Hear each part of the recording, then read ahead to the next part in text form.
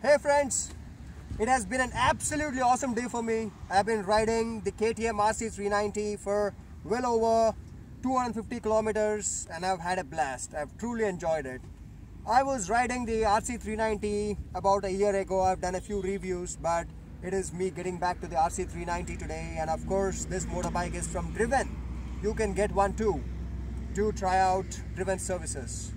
So what I thought about is when I was riding the motorbike today that I should make a video on how not to stress your body and get body pains when you're riding a super sport kind of a motorbike. When I bought my first super bike, the Yamaha R1, a few years ago, I experienced the same problem which most of us talk about. That is, when we are in a lean down position riding a super sport motorbike. We get wrist pains shoulder pains back pains and this is a huge complaint by many people.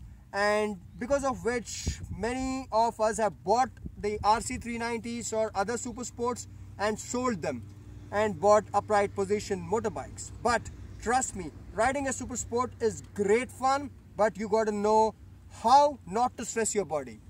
It's a very simple tip Initially, you might find it difficult to do it, but do try it out. The whole idea is not to put weight on your wrist, on your shoulders and your upper body. What you gotta do is, imagine if you're riding the motorbike, alright? Then you gotta be sitting back till the end of the rear seat. Don't sit like this in the front, okay? Because this is not the correct position. Sit back relax your upper body. Do not put weight on your wrists.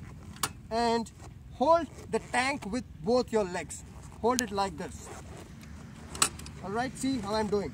Now see this? You should be able to relax your upper body and put all the weight and pressure onto the tank and grip the tank. So this way you lean forward but don't put weight on your wrist or your shoulders. Try it out and you can ride hundreds of kilometers even on a super sport motorbike. It would be pretty easy.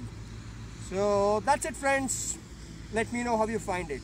Cheers. Bye-bye.